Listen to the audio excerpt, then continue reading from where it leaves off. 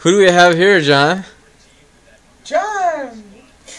On the first page of a story, the future seemed so bright. Then this thing turned out so evil. I don't know why I'm still surprised. Disgust. Is that Yabby?